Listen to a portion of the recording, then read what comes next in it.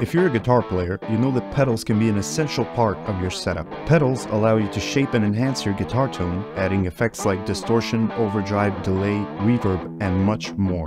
They're like tools in a toolbox, giving you the ability to craft your sound and express yourself. From bedroom players to touring professionals, pedals are used by guitarists of all skill levels and styles.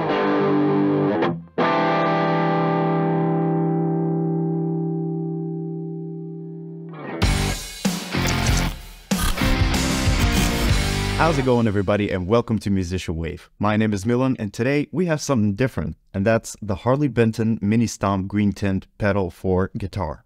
Inspired by the ever popular Ibanez Tube Screamer, the Mini Stomp Green Tint is a vintage tube-like overdrive pedal at an incredibly affordable price. Just a quick note, this is not a sponsored video. We got our hands on this guitar pedal ourselves and our thoughts and feedback are unique and unbiased. If you're interested in the Harley Benton Mini Stomp Green Tint, then check out the links in the description below on where to buy it.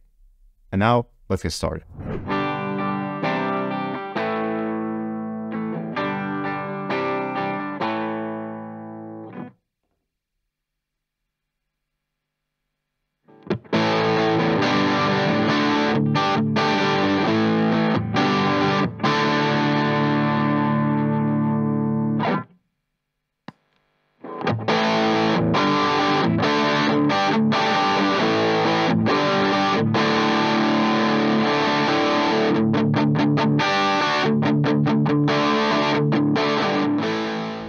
Before we dive into the details, let's take a quick look at the specs. The Mini Stomp Green Tint is a true bypass pedal that has a classic overdrive circuit, which is ideal for blues and rock genres. It features a single control knob for adjusting the gain level and has an LED light that indicates when the pedal is on. It's powered by a 9V DC power adapter, which is not included in the package.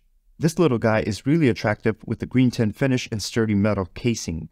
It's pretty compact, which means it won't take up much space on your pedal board and has a rubberized bottom which prevents it from sliding around during performances. The control knob is smooth and easy to use and the LED light is a nice touch. It's built really well for a guitar pedal of this price and I really like the simplistic design. You have a volume and tone dial and a boost to normal switch in the middle. And now the most important part, the sound. The pedal delivers warm, gritty, and vintage style overdrive. You can get a mild tone boost by setting the gain knob low, However, if you crank it up, you'll get a more aggressive and saturated sound that's ideal for solos. In conjunction with a cranked up amp, you get a really creamy and lead sound. With first-hand experience, I can tell you that this bad boy performs really well in a full rig without causing any noise or hum.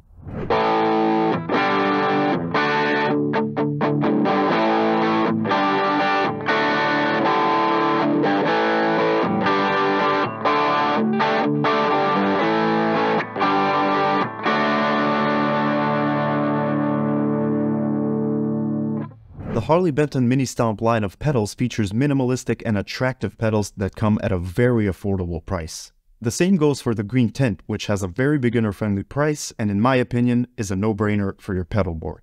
Some good alternatives to look into if you want something with a similar design would be the Ibanez Tube Screamer Mini, which packs a big punch for a really small pedal.